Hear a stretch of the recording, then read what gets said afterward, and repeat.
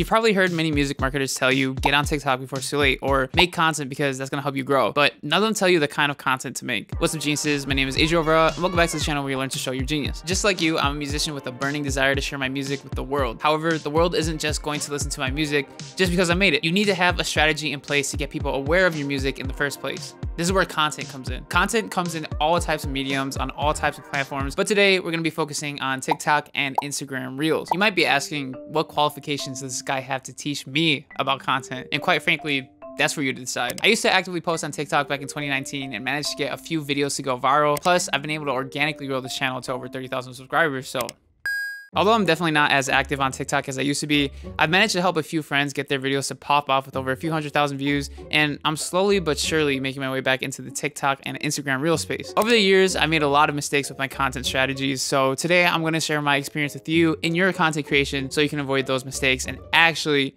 know what kind of content to make as a musician. First of all, let's talk about what the TikTok and Instagram algorithm looks for when deciding on which videos to push out to people. The key metric you need to optimize your videos for is watch time, and that's for good reason. TikTok and Instagram are businesses trying to make as much money as they possibly can, and the main way they do is by selling ad space to other businesses so those businesses can run their ads on their platform. The more ads TikTok and Instagram can show people, the more money they make, and the only way to do that is by keeping people on the platform for longer. This is why watch time is so important because if TikTok and Instagram see there's a video that's keeping a lot of people watching all the way through, odds are it's an interesting video and one worth pushing in the eyes of the algorithm. Having a higher watch time is easier said than done, but there are some ways we can increase your chances of someone watching all the way through. First, have something that will grab people's attention within the first three seconds of the video. The first three seconds is typically where people decide if they're gonna commit to watching the video all the way through or not. If you're not grabbing people's mm-hmm. attention at the start, you're hurting your chances of getting seen. Second, trim your video of unnecessary content. People's attention spans are short, so to keep them engaged, you have to keep the momentum of the video flowing. If your video has too much filler or you're taking too long to get to the point, trim out those areas so the viewer isn't tempted to swipe past you. Third,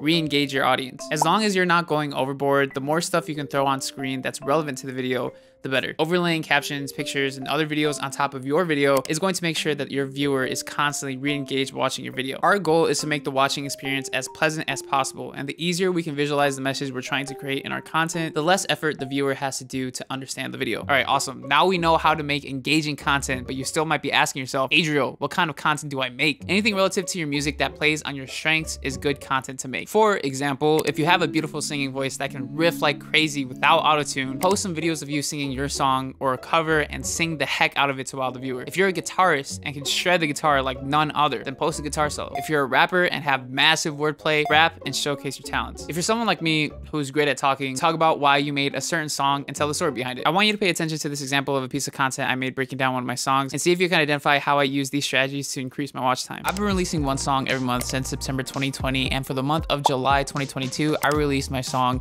Losing My Mind.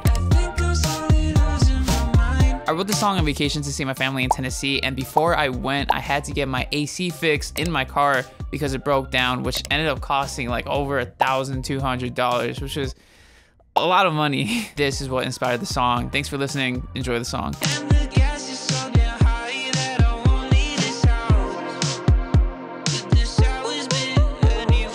So what exactly did I do? I broke down the story behind my song Losing My Mind and only included relevant information to the story. There's a lot of cuts between sentences to keep the pacing of the video constant and a lot of pictures, text, and videos overlaid to re-engage the audience. I also catch the viewer's attention within the first few seconds of the video by stating that I've been releasing music every month for the past two years. That's something unique that not every artist can say, which is exactly why it works great as a hook. However, feel free to leave your feedback in the comments if you feel there's something that I can improve on. Like I mentioned earlier, there are some mistakes that I've learned from in my content creation journey. After some thinking, I put together a few things to keep in mind when creating content. First, be mindful of the type of content you're creating. One of the most common forms of content you're going to find on TikTok and Instagram Reels is comedy. Incorporating comedy into your content by making parody songs or mixing popular memes and trends can be great for exposure, but not all exposure is good exposure. If you're making serious and heartfelt songs, posting content that is solely comedy will get you in front of the wrong type of audience and your music won't grow from it. For example, I have a TikTok that got over 2 million views. It was me remixing two trends from 2019 into a mashup. It was funny and related to music, but it didn't help build awareness towards the songs I actually want to release because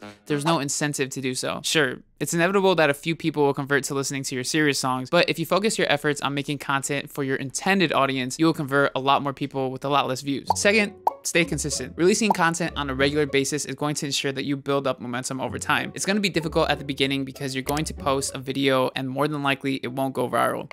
That is okay. If you go to the gym and have a really good workout, but don't work out again until next month, you're not gonna see results. The same goes for your content. You won't see a drastic difference every day, but eventually it will build if you stick with it. It isn't until a year from now that you'll be able to look back and finally see how far you've come. Third, Keep it simple. TikTok and Instagram Reels are supposed to be quick to consume, so don't spend a whole day trying to make the perfect video. The faster and easier you can make content and put it out, the better. You want to avoid burnout, and if you're spending eight hours every day making content, then you won't have any time or energy to even work on the music or any other crucial part of your music business. If you're a musician and this video helped you better understand TikTok and Instagram Reels, feel free to subscribe for more music marketing tips and check out this video to find out how to release music that actually gets heard.